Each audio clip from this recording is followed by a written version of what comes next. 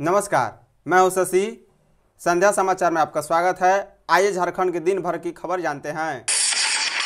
झारखंड में आठवीं बोर्ड के लिए आज से कर सकेंगे आवेदन। झारखंड में कक्षा आठवीं बोर्ड परीक्षा का फॉर्म सोमवार से जमा होगा। इसे लेकर जैक ने दिशा निर्देश जारी कर दिया है। फॉर्म ऑनलाइन जमा होगा। विद्यार्थी 16 जनवरी से 16 फरवरी तक फॉर्म जमा कर सकते हैं। बता दें, वर्ष 2023 की परीक्षा अप्रैल के अंत या मई के प्रथम सप्ताह में शुरू हो सकती है। फॉरम झारखंड एकेडमिक काउंसिल की website JAC dot Jharkhand dot G V dot in के माध्यम से ऑनलाइन जमा लिया जा रहा है। डीईओ द्वारा अनुमोदित विद्यालय के विद्यार्थियों को ही आवेदन जमा करने की अनुमति दी जाएगी। आवेदन जमा करने की जानकारी जैक वेबसाइट पर उपलब्ध है। इधर जैक द्वारा वर्ष 2023 की मैट्रिक व इंटर की परीक्षा में शामिल होने वाले विद्यार्थियों के विषय में बदलाव करने तथा आवेदन जमा करने के समय दी गई जानकारी में कोई गलती होने पर उसमें भी सुधार का मौका दिया गया है। भारत में कोरोना से राहत 24 घंटे में आए 114 नए केस। भारत में कोरोना के नए मामले में लगातार गिरावट आ रही है। देश में एक दिन में कोरोना वायरस संक्रमण के 114 नए सामने आए हैं। इसी के साथ देश में अभी तक संक्रमित हुए लोगों की संख्या चार पॉइंट चार छः करोड़ हो गई है। वहीं केंद्रीय स्वास्थ्य मंत्रालय के सोमवार को बताया है कि कोरोना के सक्रिय मामले घटकर इक्कीस सौ उन्नीस रह गए हैं। बता दें, केंद्रीय स्वास्थ्य मंत्रालय की ओर से सोमवार को जारी किए गए आंकड़ों के मुताबिक भारत में कोरोना अब धीरे धीरे खत्म होने की कगार पर पहुँच गया है। पिछले एक महीने से कोरोना के ग्राफ में लगातार गिरावट देखने को मिल रही है। झारखंड में कक्षा आठवीं तक के स्कूल 20 जनवरी तक बंद। कड़ाके की ठंड और शीतलहर के चलते जिला प्रशासन ने कक्षा आठवीं तक के स्कूल 20 जनवरी तक के लिए बंद कर दिया है। जिला शिक्षा अधिकारी के आदेश के बाद डीआईओएस ने दिशा निर्देश जारी किए हैं। वहीं कक्षा नौ से बारह तक के स्टूडेंट की पढ़ाई चलती रहेगी।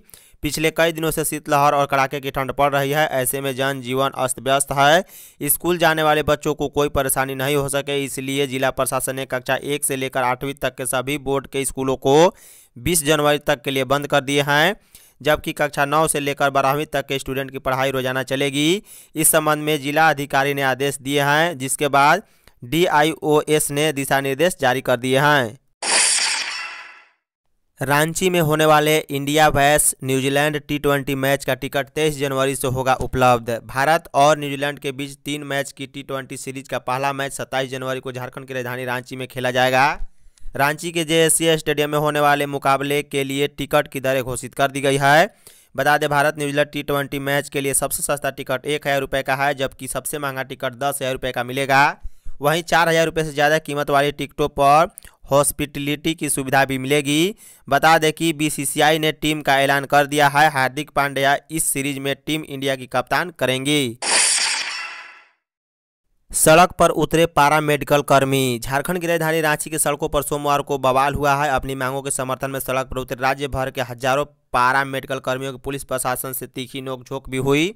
मोराबादी मैदान से मुख्यमंत्री आवास की ओर बढ़ रहे पारा मेडिकल कर्मियों को रोकने के लिए जो बैरिकेटिंग लगाई गई थी, उन्होंने उसे तोड़ दिया। राजभवन के पास हालात ऐसे बने कि पुलिस को हालात नियंत्रित करने के लिए लाठियाँ भाजनी पड़ी। पारा मेडिकल कर्मी पूर्व निर्धारित कार्यक्रम के तहत अपनी मांगों को समर्थन में मुख्यमंत्री आवास घेरने रांची में इकट्ठा हुए। पारा मेडिकल कर्मियों की शिकायत है कि मुख्यमंत्री हेमंत सोरेन ने तीन माह का वादा दिया था, जो तीन साल में भी पूरा नहीं हुआ। बाबूलाल मरांडी ने सीएम हेमंत पर बोला हमला। पूर्व मुख्यमंत्री एवं बीजेपी विधायक दल के नेता बाबूलाल मरांडी ने निलंबित आईएएस पूजा सिंघल के बहाने मुख्यमंत्री हेमंत सोरेन पर निधाना, साधा है। बाबूलाल मरांडी ने सीएम हेमंत सोरेन पर पूजा सिंघल के खिलाफ सबूतों के आधार पर कार्रवाई नहीं करने का आरोप लगाया।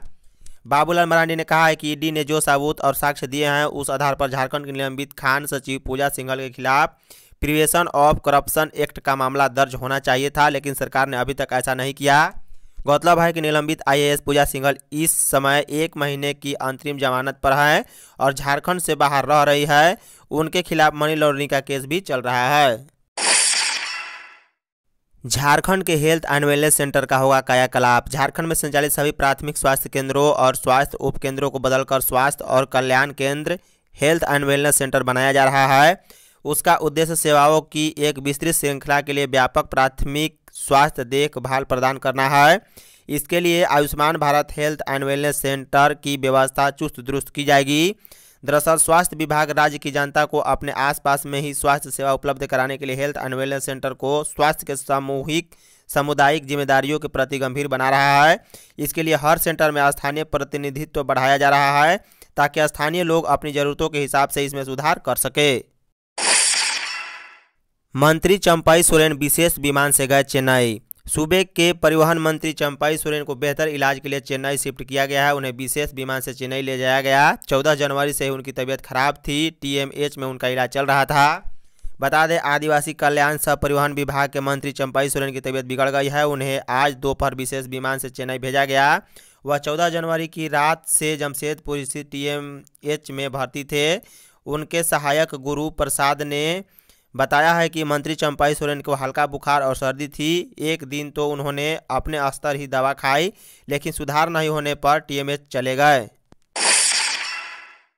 रांची पहुँचे झारखंड जेडीयू के नए प्रभारी अशोक चौधरी। प्रदेश जदयू के प्रभारी बनने के बाद बिहार सरकार के मंत्री अशोक चौधरी पहली बार झारखंड दौरे पर आए हैं। सोमवार को वे रांची पहुँचे। रांची एयरपोर्ट पर कार्यकर्ताओं ने उनका स्वागत किया। इस दौरान अशोक चौधरी ने कहा कि झारखंड और बिहार का रिश्ता भाई बहन जैसा है। झारखंड में जनाधार बढ़ाने के लिए वे पार्टी के नेताओं के साथ चर्चा करेंगे। इससे पहले उन्होंने कई सवालों के जवाब देने से परहेज किया। बता दें, झारखंड जेडीयू को मज़बूत करने के लिए जेडीयू लगातार प्रयास में जुटा हुआ है।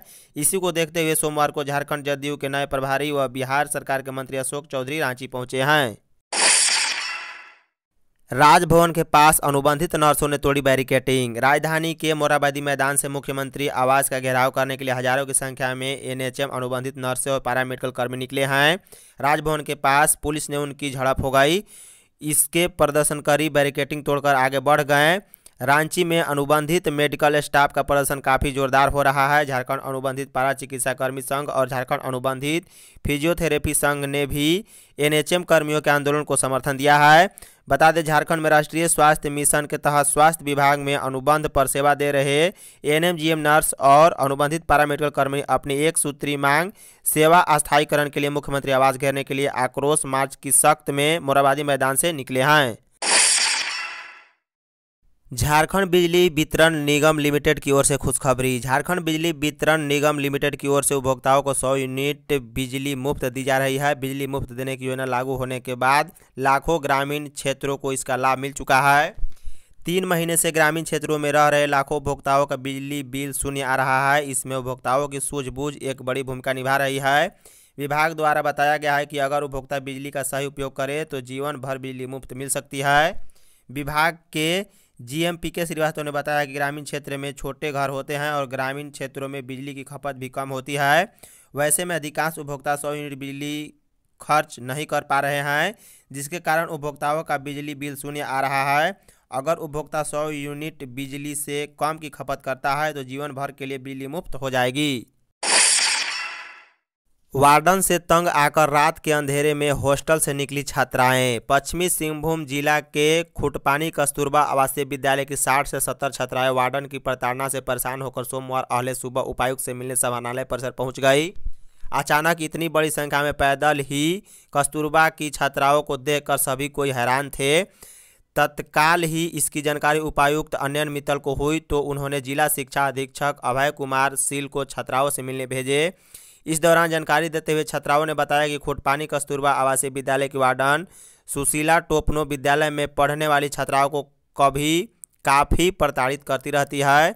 छात्राओं से ही शौचालय की सफ़ाई टीम बनाकर किया जाता है, जिसकी जब पारी होती है, उनको सफ़ाई करना ज़रूरी होता है।